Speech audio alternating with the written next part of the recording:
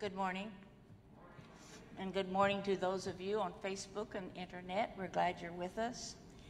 Today is the 13th Sunday after Pentecost, and we will be hearing about the cost of discipleship. What is the cost that Jesus asks of us to be his disciple?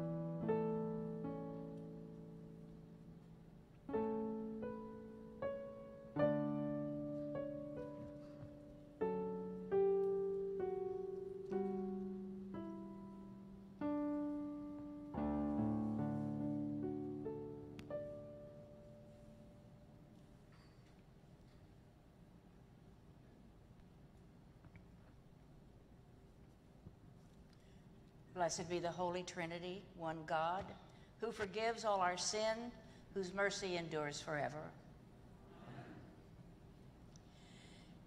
Almighty God, to whom all hearts are open, all desires known, and from whom no secrets are hid, cleanse the thoughts of our hearts by the inspiration of your Holy Spirit, that we may perfectly love you and worthily magnify your holy name through Jesus Christ our Lord. Let us confess our sin in the presence of God and of one another.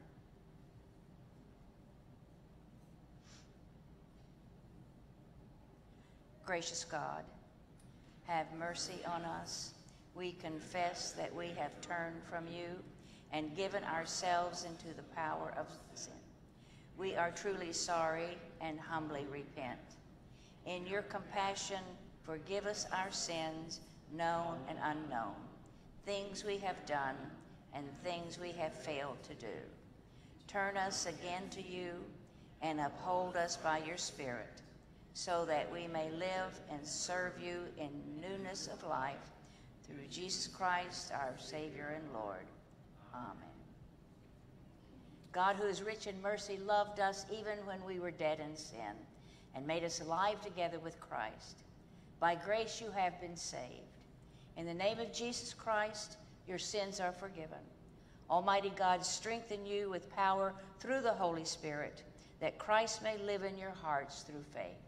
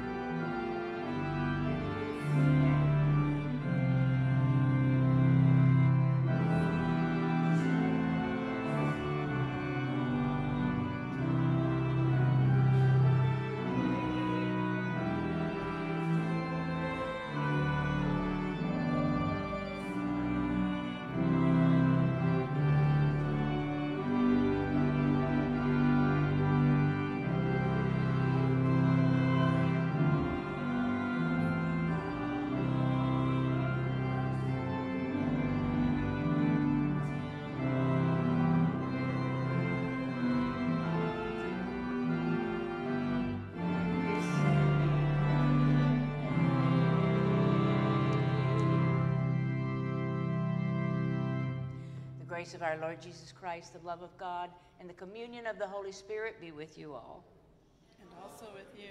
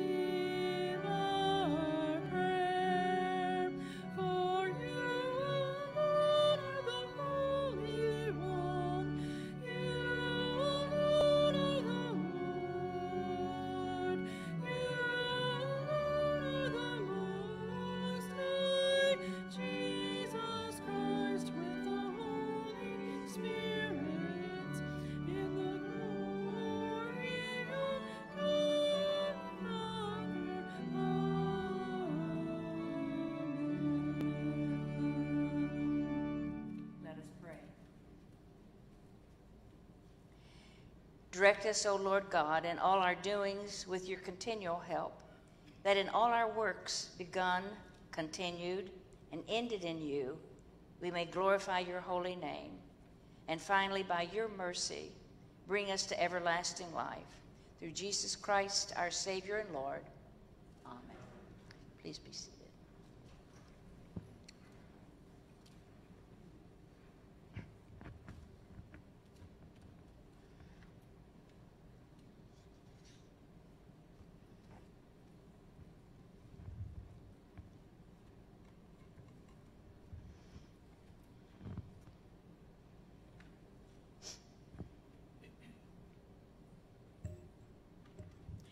The first reading is from the 30th chapter of Deuteronomy. Moses speaks to the Israelites who are about to enter the land promised to their ancestors. In this passage, he lays out the stark choice before them choose life by loving and obeying the Lord, or choose death by following other gods. See, I have set before you today life and prosperity, death and adversity. If you obey the commandments of the Lord, your God that I am commanding you today by loving the Lord your God, walking in his ways, and observing his commandments, decrees, and ordinances. Then you shall live and become numerous, and the Lord your God will bless you in the land that you are entering to possess. But if your heart turns away and you do not hear, but are led astray to bow down to other gods and serve them, I call heaven and earth to witness against you today that I have set before you life and death, blessings and curses. Choose life so that you and your descendants may live, loving the Lord your God, obeying him and holding fast to him, for that means life to you in length of days, so that you may live in the land that the Lord swore to give you to give to your ancestors, to Abraham, to Isaac, and to Jacob. The word of the God, the word of God, Lord of life. Thanks be to God. We now read Psalm 1. Happy are they who have not walked in the counsel of the wicked, nor lingered in the way of sinners, nor sat in the seats of the scornful. Their delight is in the law of the Lord, and they meditate on God's teaching day and night. They are like trees planted by streams of water, bearing fruit in due season, with leaves that do not wither. Everything they do shall prosper. It is not so with the wicked. They are like chaff which blows away. Therefore, the wicked shall not stand upright when judgment comes, nor the sinner of the counsel of the righteous.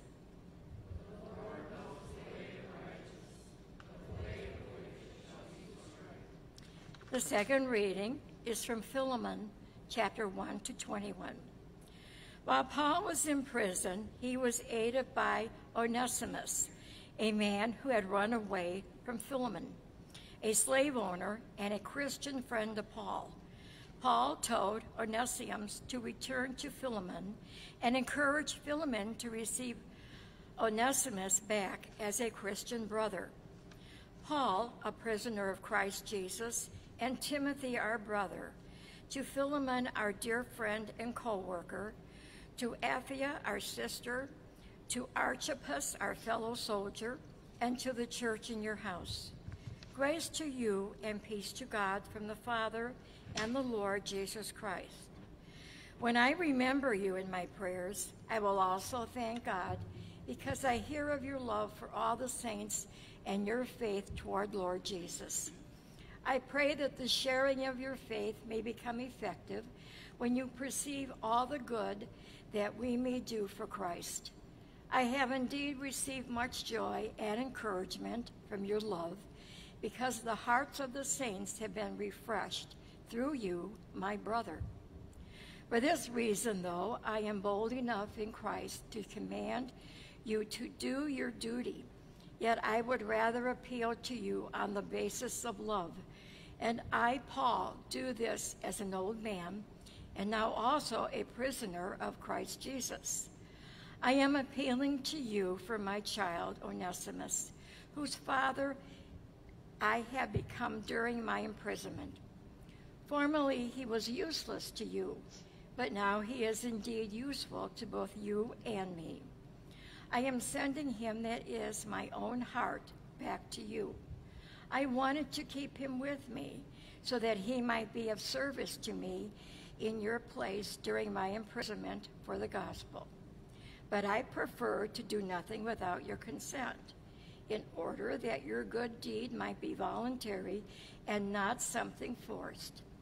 Perhaps this is the reason he was separated from you for a while, so that you might have him back forever, no longer as a slave, but more than a slave, and a beloved brother, especially to me. But how much more to you, both in the flesh and in the Lord. So if you consider me your partner, welcome him as you would welcome me.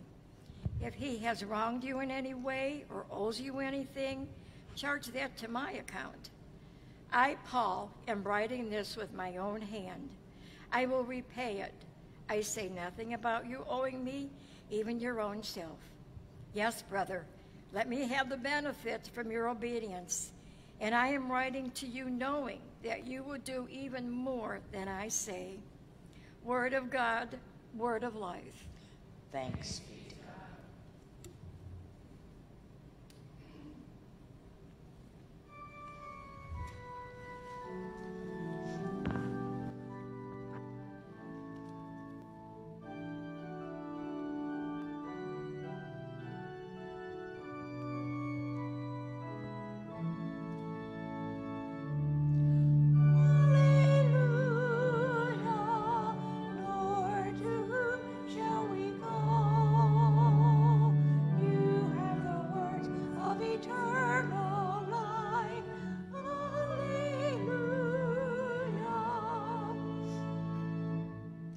Holy Gospel according to Luke, the 14th chapter. Jesus speaks frankly about the cost of discipleship. Those who follow him should know from the outset that completing the course of discipleship will finally mean renouncing all other allegiances. Now, large crowds were traveling with Jesus, and he turned and said to them, Whoever comes to me and does not hate father and mother, wife and children, brothers and sisters, yes, and even life itself, cannot be my disciple. Whoever does not carry the cross and follow me cannot be my disciple. For which of you, intending to build a tower, does not first sit down and estimate the cost to see whether he has enough to complete it? Otherwise, when he has laid a foundation and is not able to finish, all who see it will begin to ridicule him, saying, This fellow began to build and was not able to finish. Or what king going out to wage war against another king will not sit down first and consider where he is able with 10,000 to oppose the one who comes against him with 20,000? If he cannot, then while the other is still far away, he sends a delegation and asks for the terms of peace. So therefore, none of you can become my disciple if you do not give up all your possessions. The gospel of the Lord.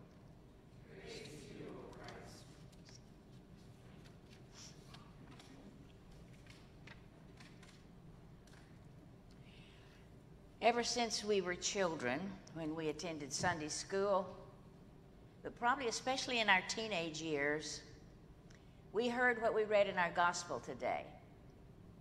Whoever does not carry the cross and follow me cannot be my disciple. We usually would probably hear this in a more positive way.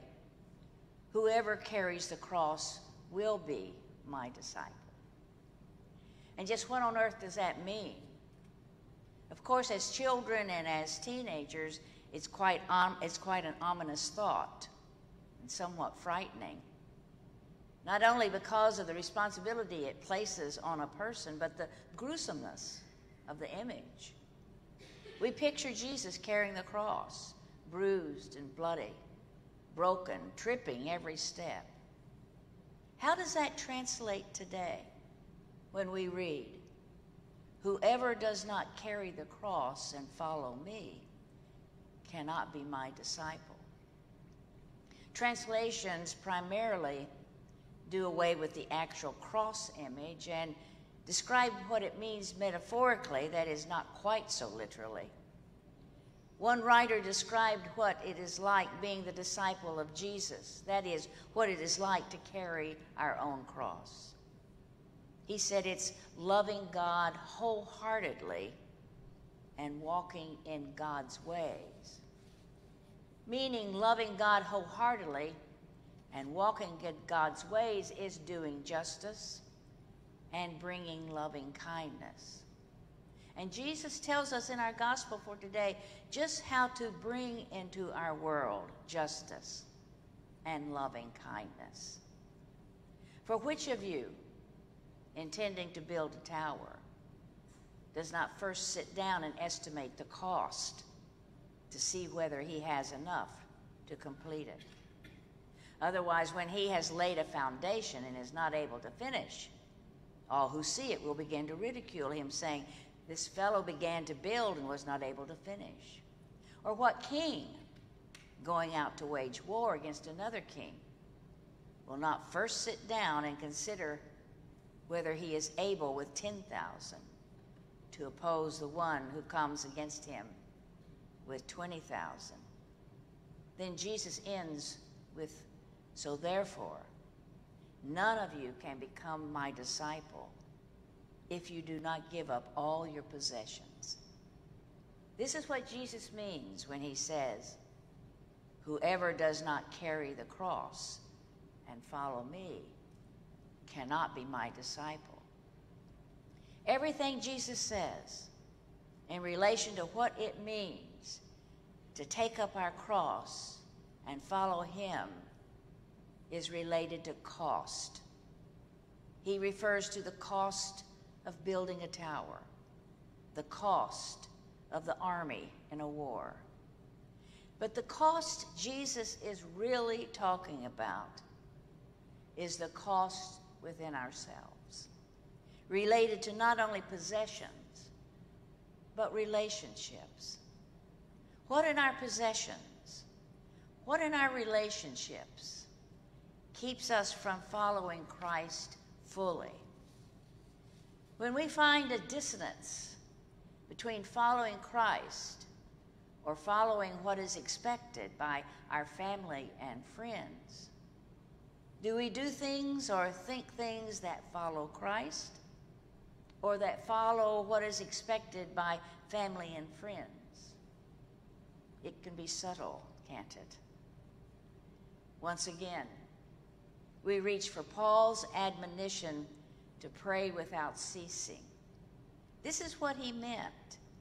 He did not mean to stay on our knees or head bowed unceasingly, but to have a running conversation in our head and heart with God. Have God as our companion in thought, word, and deed. So, what is Jesus referring to when he talks about the cost of following him? The cost when we follow Jesus is the loss of self. What is the gain when we follow Jesus? We know the answer, don't we? Companionship, God, through the Holy Spirit, as our companion in thought, word, and deed.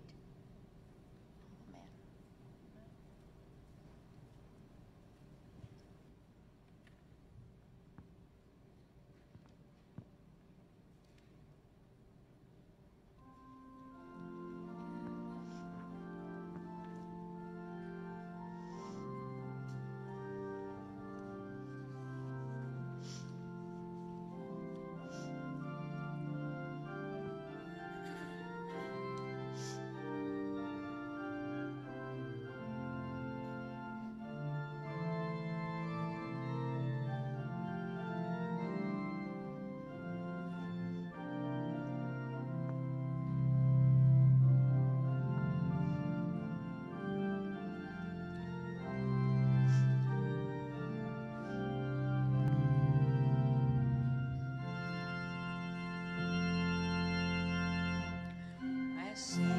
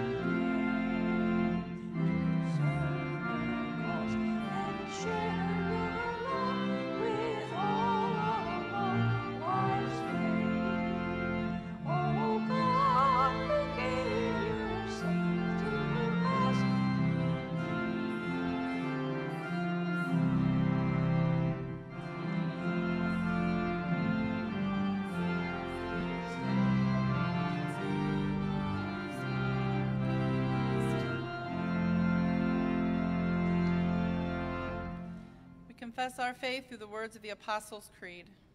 I believe in God, the Father Almighty, creator of heaven and earth.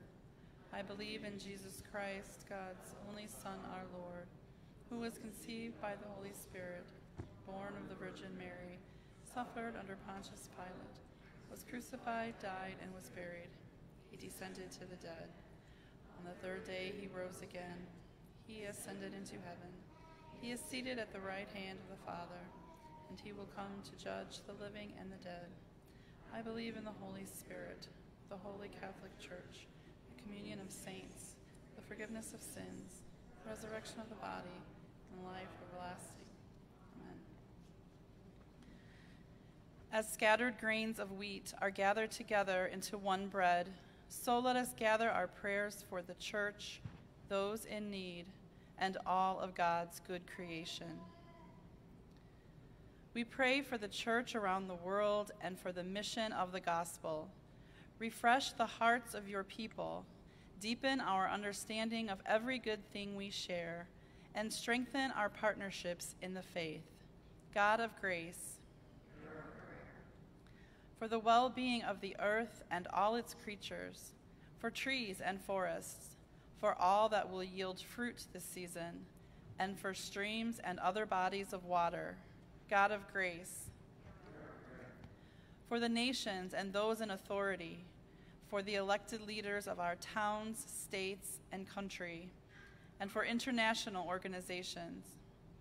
Grant wisdom to those who govern and raise up citizens who make decisions in the best interest of their neighbors. God of grace for all in need, for those who suffer from disease, who struggle with homelessness or food insecurity, for those whose family life is difficult, and for all in this community who need your care, especially those we name now aloud or in our hearts. God of grace,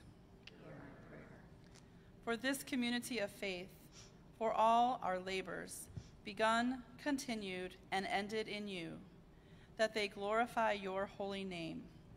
Bless your people with the strength to live into their many vocations for the sake of the world. God of grace, please join me in the next petition. For Griffith Lutheran Church, help us to use our many blessings to grow our church, to make a difference in our lives and in our community Help us that we may grow Christ centered relationships in our communities through love and service. God of grace, for all the saints who confessed God's name, we give thanks for the saints who now rest from their labors. Give us faith like them to love you with all our hearts, and by your mercy bring us to everlasting life. God of grace, gathered together in the sweet communion of the Holy Spirit. Gracious God, we offer these and all our prayers to you through Jesus Christ our Savior. Amen. The peace of Christ be with you always. And also with you.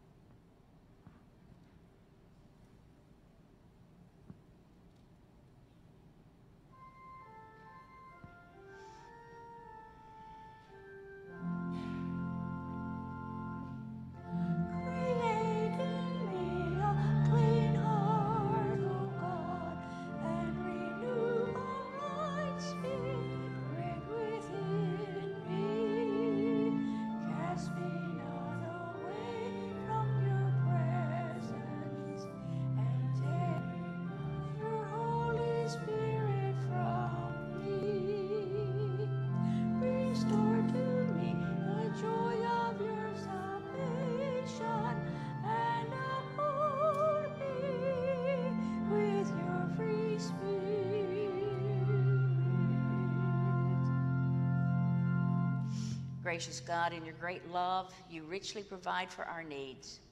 Make of these gifts a banquet of blessing and make us ready to share with all in need. Through Jesus Christ, who sets a table for all. Amen.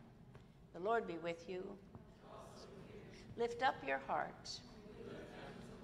Let us give thanks to the Lord our God.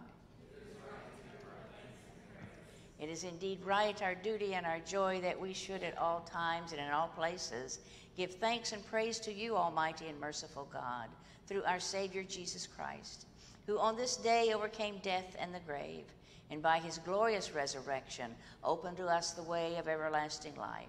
And so, with all the choirs of angels, with the church on earth and the host of heaven, we praise your name and join their unending hymn.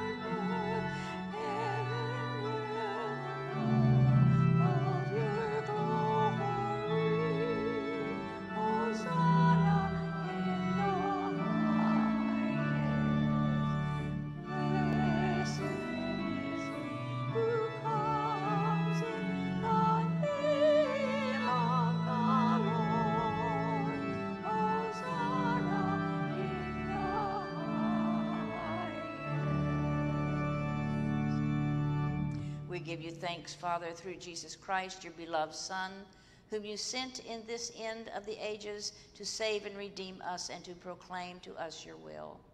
He is your word, inseparable from you, through whom you created all things and in whom you take delight. He is your word sent from heaven to a virgin's womb. He there took on our nature and our lot and was shown forth as your Son, born of the Holy Spirit and of the Virgin Mary. He, our Lord Jesus, fulfilled all your will and won for you a holy people. He stretched out his hands in suffering.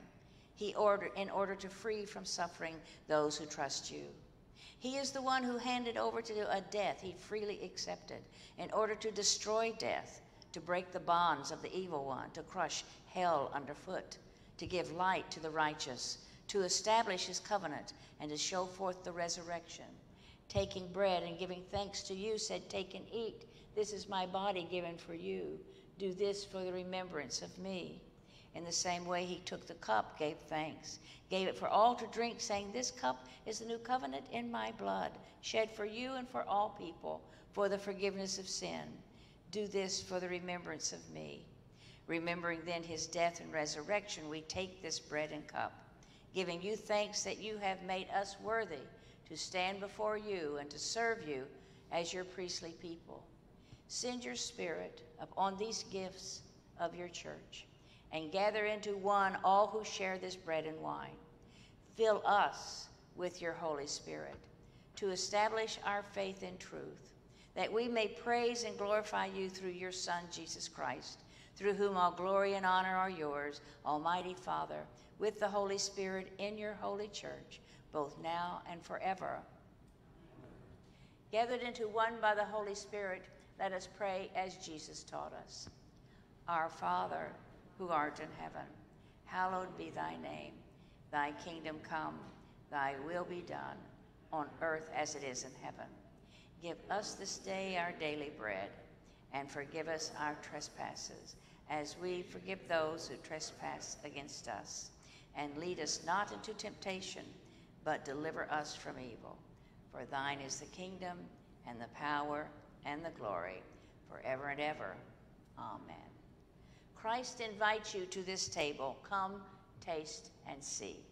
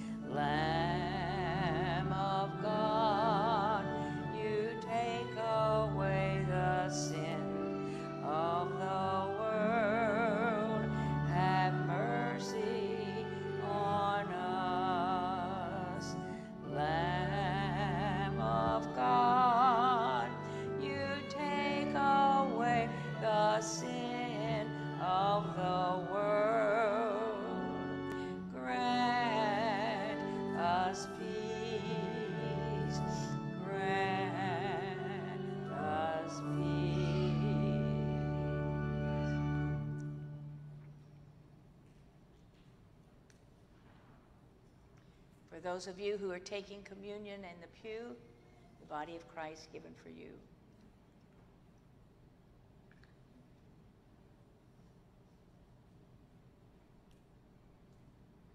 The blood of Christ shed for you.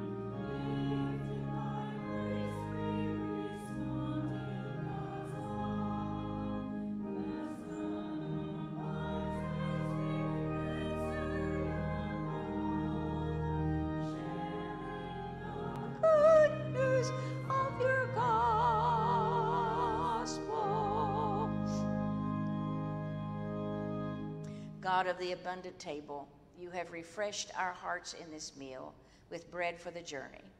Give us your grace on the road that we might serve our neighbors with joy for the sake of Jesus Christ our Lord.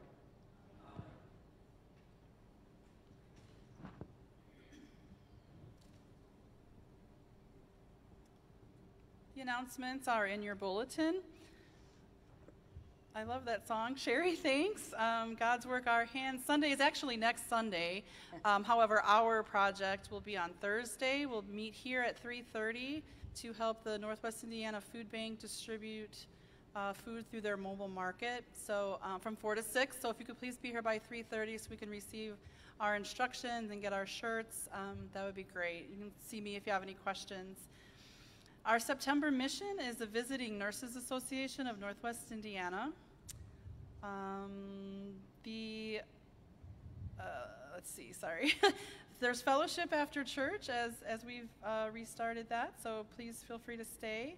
The Inspired Book Study, inspired by Rachel Held Evans, um, will begin later the month. I do have the materials. If you're interested in that, please see me. We could use some help with the sign up sheet for ushers. Um, the other sign up sheets are looking really good, so if you would consider um, uh, being an usher on Sundays, that would be helpful. And next Sunday is Rally Sunday, and I believe Denny has something to announce.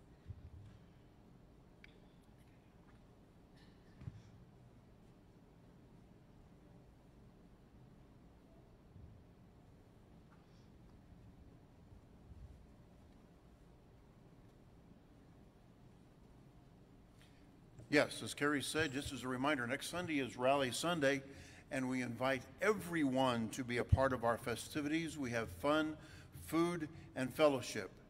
Now, let's see, let's put that in the right order. Probably put food first, right?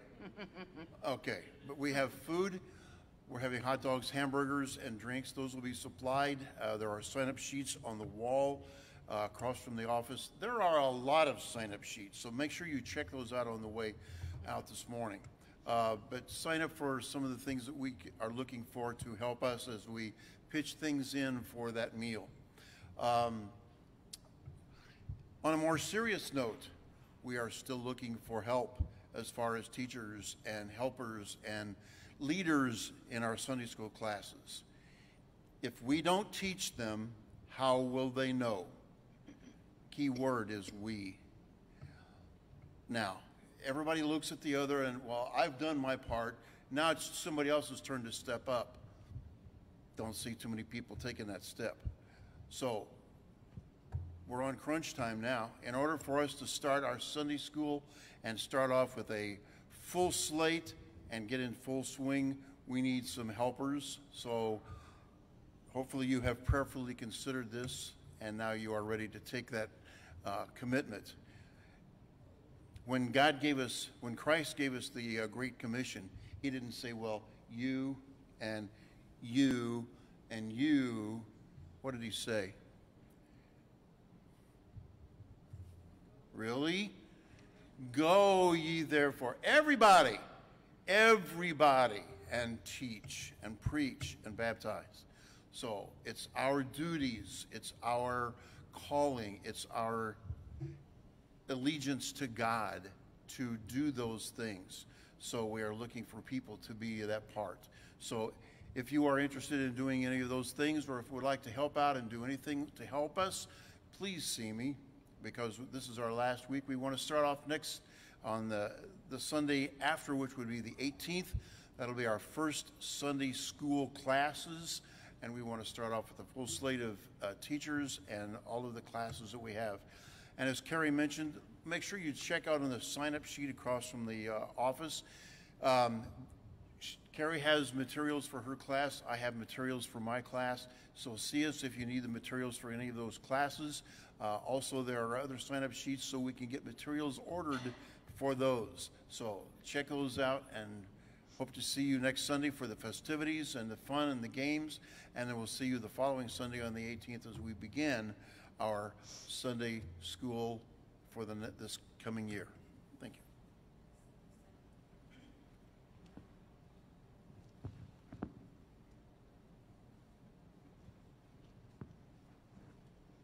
Please stand. Carrie and I will be doing our part for Rally Day. We will have our robes on.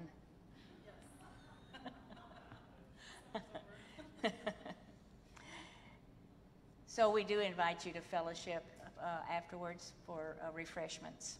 God, who gives life to all things and frees us from despair, bless you with truth and peace. And may the Holy Trinity, one God, guide you always in faith, hope, and love.